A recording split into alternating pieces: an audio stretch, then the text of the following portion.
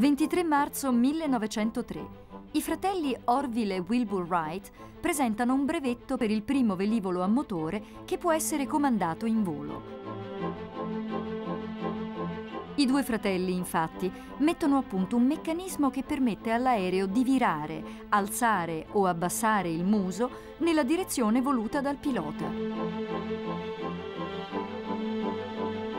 a partire da questa scoperta che diventa possibile pensare di utilizzare gli aerei per viaggiare.